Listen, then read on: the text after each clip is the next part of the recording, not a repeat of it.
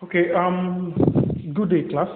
Um, today we are going to be talking about the series of structures that supply uh, electrical impulses, so to speak, to the lower limb. Uh, in our last class, we talked about the the femur, and it's only uh, right if we talk about the muscular attachments to this femur. But then if I'm going to be doing that, it means I'm going to be referring to more uh, uh, nerve supply, their innervations, and to be unfair to refer you to something I have not uh, uh, talked about, even though I agree that all parts of anatomy are connected. So here we're going to be talking about the lumbosacral plexus, and just like in lower limb, the lumbosacral plexus is um, uh, made up of two groups. Okay, we have the lumbar plexus and we have the sacral plexus. Now, the lumbosacral plexus is formed by the anterior rami of the spinal segment T12 to S4 to supply the lower limb. Okay. Now, there are 59 muscles of the lower limb, and the lumbar plexus actually innervates the anterior and the upper half of the lower limb, while the sacral plexus innervates mainly uh, the lower part and the the posterior aspect. Now, let's talk about the lumbar plexus first. Okay, the, the lumbar plexus uh, the, is formed from the fibers of L1 to L4, as we can see uh, here, L1 to L4 here, okay? Uh, now, these uh, muscles, the, these uh, nerves, they merge in the substance of the, of the psoas major muscle to form the this uh, group of uh, nerves that I call the lumbar plexus. Now they innervate, like I said, the anterior aspect uh, and the upper part of the lower limb. Now we have different nerves here, so I'm going to be talking about it one after the other. The first nerve of the first branch or the first nerve of the lumbar plexus is the uh, the iliohypogastric nerve. What some people will call the what some people will call, let me just do it this way so we won't have too much red pen, what some people will call the iliopubic nerve. So the iliohypogastric nerve is the first branch that originates from the L1 and sometimes, sometimes from the T12. It is actually inferior to the subcostal nerve. The subcostal nerve is the last nerve of the thoracic uh, uh, from the, uh, the last thoracic nerve. Okay, so this iliohypogastric nerve moves inferiorlaterally towards the anterior aspect of the iliac crest. Okay, of the iliac crest there. So towards the anterior aspect of the iliac uh, uh, uh crest. Okay, so it, it gives two branches. It gives an anterior branch and it also gives a lateral cutaneous branch. Okay, that supply over the inguinal region as well as the scrotum or the male or the labia majora in female. Now, the, the lateral cutaneous nerve uh, uh, actually, uh, uh, the lateral cutaneous branch, sorry, supplies the superior-lateral quadrant, the superior-lateral quadrant of the buttock, okay, uh, what some people will call the lateral aspect of the hip, okay. So it, it is this muscle that the iliohypogastric nerve is actually motor to the inguinal part of the internal oblique and the transversus abdominis muscles. These two muscles are muscles of the anterolateral abdominal wall. Now, the second nerve that we are going to be talking about is the ilioinguinal nerve. Well, it does it is, the, it is an identical brother to the iliohypogastric nerve. So this ilioinguinal nerve is from uh, the L1 and sometimes occasionally, uh, sometimes or occasionally from the T12. The same the same place, the same area the hypogastric nerve is coming from. So it runs, this one runs below the hypogastric nerve. Okay, as you can see here, it runs below the hypogastric nerve, leans against the abdominal wall and passes through it at uh, you know, different spots. Then at the level of the inguinal ligament, it runs medially at the level of the inguinal ligament and pass through the external inguinal ring to the pubic symphysis. Now, there's something called the external and the internal inguinal ring when we want to be, talk, when we want to be talking about the, uh, the stomatic cords, but let's not bore ourselves with that. Okay, so it passes through the external inguinal ring to the pubic symphysis then to supply the scrotum or the labia majora. Okay, now this nerve, I'm talking about the inguinal nerve, it is also motor to the uh, uh, uh, to the inferior uh, parts of the transversus abdominis muscle and the internal oblique muscle. The same thing the hypogastric uh, nerve does. Then it has a femoral sensory branch that supply the upper and the inner parts of the anterior thigh. That's I'm talking about the medial part of the femoral triangle. I have mentioned the femoral triangle again. The femoral triangle is a triangle in the anterior portion of the thigh. We are going to be talking about it when we talk about the anterior compartment of uh, the compartments of uh, the thigh. Then it, the inguinal uh, uh, nerve also gives a branch called the anterior scrotal nerve that supply the anterior part of the scrotum or the labia majora. I've said this uh, uh, twice now. Then we have another nerve called the genitofemoral nerve. Actually, from the name genitofemoral nerve is actually from two uh, main nerves the genital, it has two branches, there are two components, the genital branch and the femoral uh, branch. Now, the genital, the genital, the, the, the, um, the genitofemoral nerve is uh, uh, uh, uh formed from uh, the L1 to L2, okay? Now, after it pierces the psoas major muscle, okay, it divided to the genital branch and of course the femoral branch. Now, the, the femoral branch is purely sensory, okay? It is purely sensory, purely cutaneous. That one passes through the vascular lacunae. I have mentioned the lacunae again. In the anterior part of the thigh, the, structure called the lacunae is divided into muscular lacunae and the sensory lacunae. The sensory lacunae, uh, um, the muscular lacunae is where muscles passes through, while the vascular lacunae uh, vessels.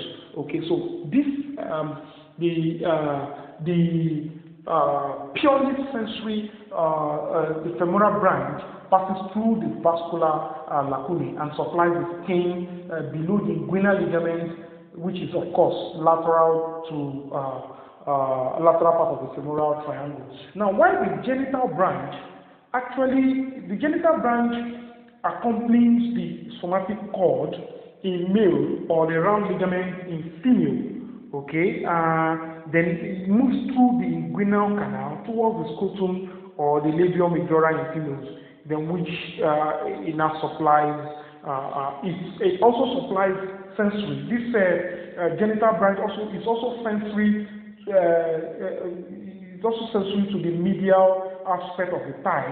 That's the reason why okay, I'll, I'll explain this later. Let me not go into it. Okay, then the genital branch is motor to the cremasteric muscle. The cremasteric muscle is the muscle of the scrotum, which is responsible for drawing up uh, different uh, shapes of the uh, scrotum. There's another nerve called the lateral cutaneous nerve of the thigh, while what some people will call the lateral uh, uh, where is it again? Okay, this is it here. The lateral cutaneous nerve of the thigh, or what some people call the lateral femoral cutaneous nerve. This nerve is from the L2 to L3. And guess what? It is purely sensory. It travels inferiorlaterally to the iliac fossa. The iliac fossa, you can see this is the nerve here. Let me clean this up. I have a lot of mess here. Okay, so this is it here. Okay, the lateral cutaneous nerve of the thigh. Okay, so uh, uh, uh, it, uh, it, it, um, it, it passes uh, inferiorlateral to the iliac fossa uh, then of course passes the psoas major muscle, then it is a content, it passes through the muscular lacunae, then before it pierces the facial lateral, where it supplies the lateral skin of the thigh, the peritoneum of the iliac fossa, the iliac fascia, and then and then also the uh, the lateral side of the thigh to the knee. Then it's also you know, you gain access to the thigh by passing deep to the inguinal, uh, to the lateral portion of the inguinal ligament. So it, it passes deep to the lateral portion. This is the inguinal ligament here. This is the inguinal, this uh, structure, sorry. Uh, this structure here is the inguinal ligament. So this uh, genitofemoral nerve passes deep to the lateral portion of this uh, inguinal uh, ligament. Then there's another nerve that we might not be able to see here. Okay, I don't know if the labeling, okay, yes, I think the labeling is here. This nerve here, okay, let me, let me push this image somewhere here. Okay, good, good. Okay, now this uh, nerve here is called the obturator nerve. The obturator nerve is formed from the L2 to L4 uh, at the level of the iliosacral joint. What I mean by the iliosacral joint, look at this nerve here. Look at this nerve here coming from here. So the joint here together, okay, at the level of the iliosacral joint. What I mean by the iliosacral joint is it is a joint between the ilium and the sacrum around the. So this is where the L2 to L4 nerve fibers unite, okay? And of course, this happens medial to the psoas major uh, before it passes along the posterior wall of the pelvic cavity. Then at the point of uh, uh, bifurcation of the common iliac vessel, you know the common iliac vessel is supposed to be common iliac artery here, then move to the uh, um, uh, the uh, common external external iliac artery move then divides to internal iliac artery and the external iliac artery. The same thing happened here. So uh, just uh, uh, the point of bifurcation of the common iliac vessel, the obturator nerve uh, travels towards the obturator foramen where it now supplies the pelvic uh, parietal uh, peritoneum. Now, if you if you if you if you can see this, this nerve is actually coming out from the uh, obturator foramen, and you know the obturator foramen is supposed to be covered by the uh, obturator membrane, isn't it? So now, once this nerve is out of the foramen, it divides into two. Once this nerve is out of this foramen, it divides into two. It divides into an anterior portion and also a posterior portion. Now, the anterior portion is motor to the adductor brevis, adductor longus, and gracilis. And sometimes, sometimes, sometimes, sometimes the anterior division of the obturator nerve also supplies the pectineus muscle. That sometimes. Then it gives articular branch to the hip joint. Okay, all these muscles I've mentioned are muscles of the medial compartment of the thigh, which we are going to be talking about in our next class. Now, the the the the, the posterior division of the obturator nerve Eh, is actually motor to the obturator externus, that's the muscle covering the uh, the the obturator foramen, and of course it's also it's also motor to the adductor magnus. Uh, then it gives an articular branch to the knee joint. So we can say it is safe to say that the anterior uh, division of the obturator nerve supplies the uh, hip joint, while the posterior division supplies the uh, knee joint. Now, if you remember, I said that sometimes the anterior division of the obturator foramen actually supplies the pectineus muscle, but sometimes the, there's a nerve called the accessory obturator nerve. It is not here in this debate, okay? The accessory obturator nerve, uh, it's also formed from fibers of the anterior division of L3 uh, to L4, and they also make at the same point as the uh, the obturator nerve, that's the uh, joint. But the only difference now is that once the if the accessory obturator nerve is present, it's going actually going to be lateral to the obturator nerve. Okay, so this uh, obturator nerve will be the, this accessory obturator nerve will be the one to supply uh, the pectineus. Okay, so that's why I said the anterior division of the obturator nerve sometimes supplies the pectineus. Now there's another nerve which is very important. Well, all nerves are important, but uh, maybe the reason why I said this nerve is important is because um, it's uh, the largest well, not the largest in the body. the sciatic nerve has that cup.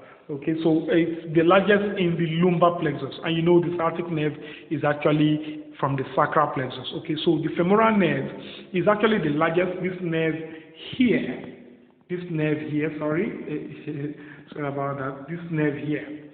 Okay, so the femoral nerve is uh, actually uh, from the from uh, uh, the posterior division of L2 to L4.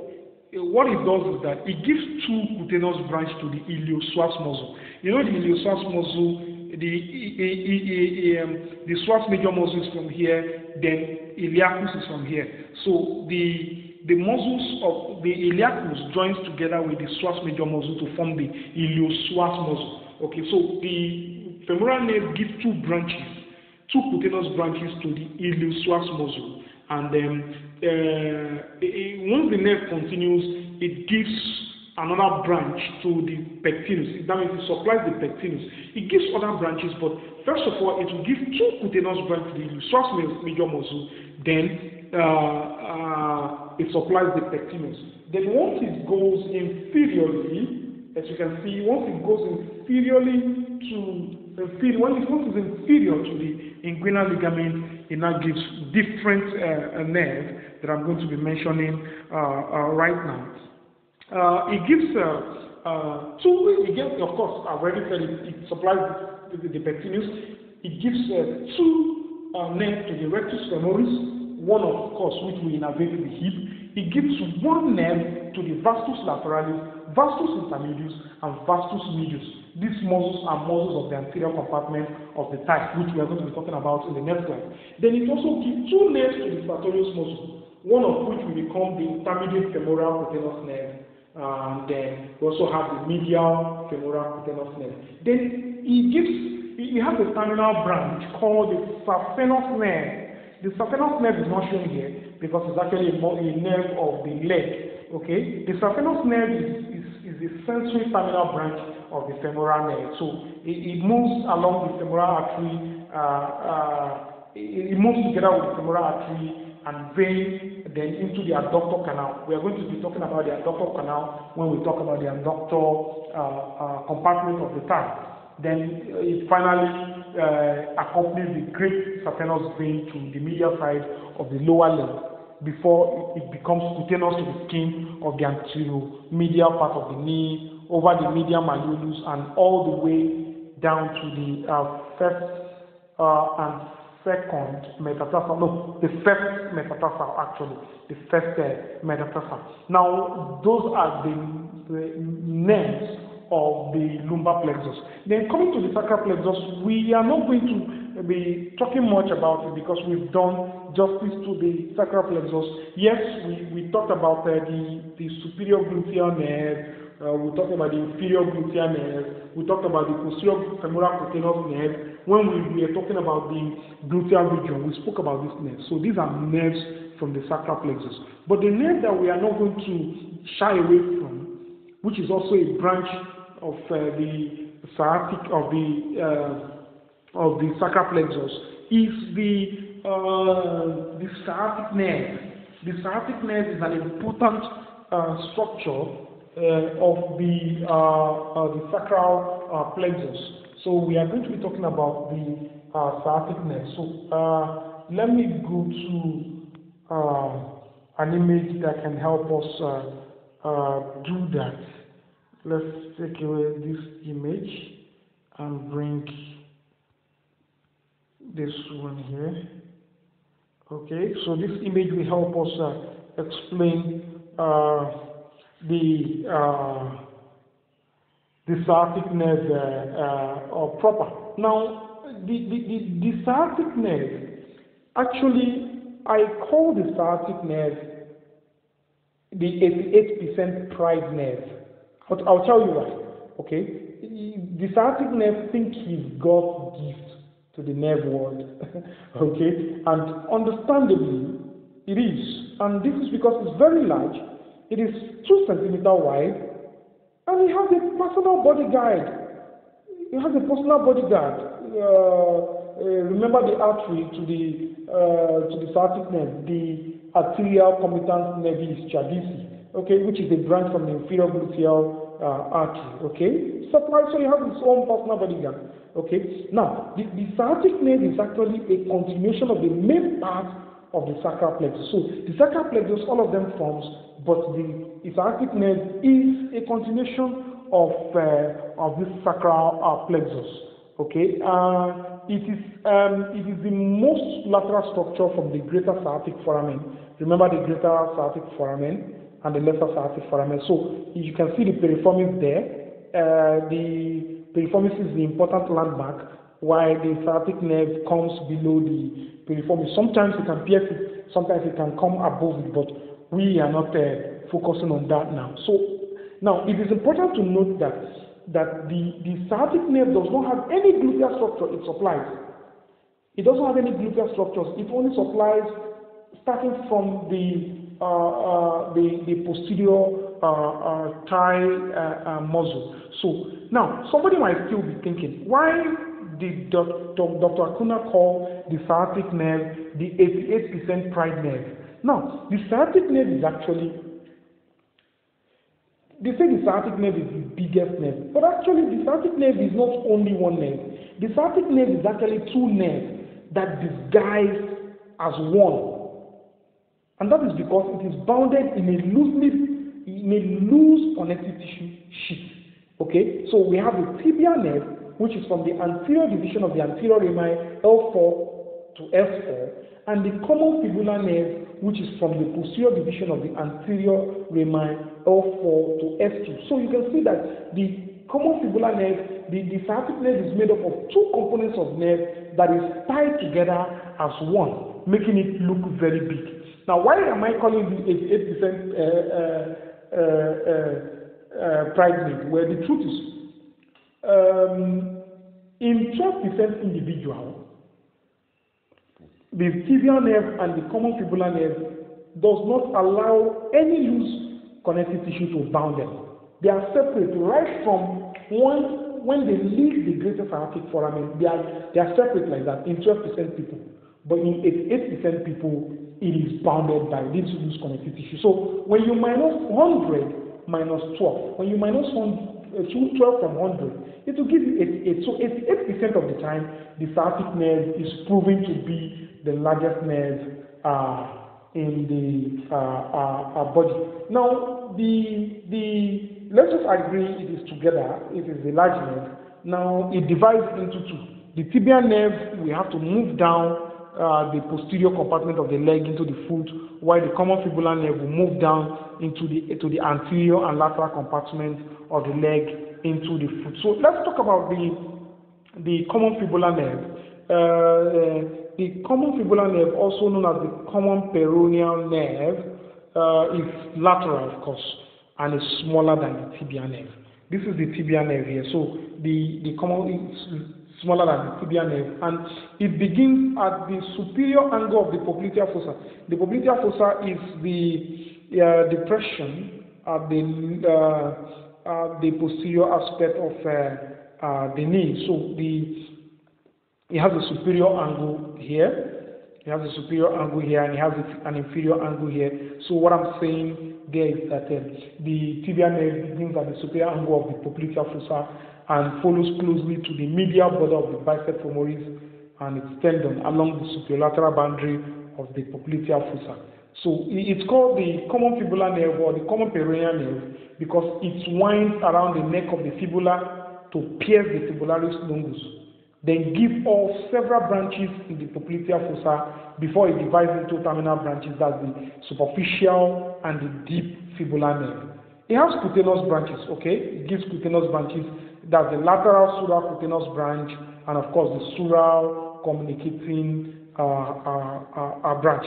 This sural communicating branch, we have to anastomose with the sural uh, branch of the tibial nerve. So what I'm, what I'm saying is, after the tibial and the fibular nerve divide at the superior angle of the popliteal fossa, they join together again inferiorly uh, uh, through the sural communicating branch, which is a branch from the common peroneal or common fibular nerve with the sural nerve, which is from the tibial uh, uh nerve. Okay, so it also has articular branches, but I wouldn't want to go into that. It has a superior lateral genicular nerve, it has the inferior lateral genicular nerve, it has the recurrent genicular nerve. But let's not talk about that. Then it's important to note that the the the the the, uh, the common peroneal or the common fibular nerve gives only one motor branch, and that is the nerve to the short head of the bicep femoris. Okay, it comes directly from uh, the common fibular uh, nerve. Now, talking about the tibial nerve, the tibial nerve is medial, as you can see, and it's of course is the, is the largest and the most superficial. Even though being superficial, it does not get uh, uh, injured as easily as uh, the uh, common fibular nerve do get injured. Okay, so the the the popliteal fossa it bisects the fossa uh, as it passes from its superior angle to the inferior angle. Okay, so uh, before giving muscular branches to the soleus muscle and uh, I think uh, the gastrocnemius muscle, the plantaris, and the popliteus muscle. Yes, these muscles are muscles of the posterior uh, compartment of the leg, which we have not gotten to. So I'm just running across this net so that when we are going to be talking about the muscles of the anterior compartment, uh, the muscles of the, compartments of the thigh and the leg, and I'm referring to these nerves, we, it won't, uh, uh, we won't uh, be lost. Okay, now um, the, the tibial nerve also supplies the tibialis posterior muscle, the superficial, the superior tibiofibular joint, the tibial bone, the interosseous membrane of the leg, and the inferior tibiofibular joint. It also gives medial sural nerve at the middle of the popliteal fossa, which is also which is sensory to the skin of the lower half of the back of the leg and the lateral border of the foot until it gets to the tip of uh, the toe. It also gives three articular branches, which I'm not going to be mentioning now. But the most important thing you need to pick now is that uh, the tibial nerve terminates by dividing into the medial and the lateral plantar nerve to supply the uh, the uh, uh, to supply the, the foot. Okay, so uh, we have come to the end of this class. In our next class, we are going to be talking about the muscular attachments to the femur that the anterior compartment, the posterior compartment, and the medial compartment of the time. But in the meantime, if you have any question, okay, so you can uh, send me a message, WhatsApp or on on Telegram. You can even send me email, and um, um, I will fix a uh, meeting time for us uh, to meet up on, uh, on on Zoom. Okay, so if you have any question, feel free to send it uh, uh, to me. So we have come to the end of uh, this class. Thank you for downloading and listening. Okay, and please remain safe. God bless you.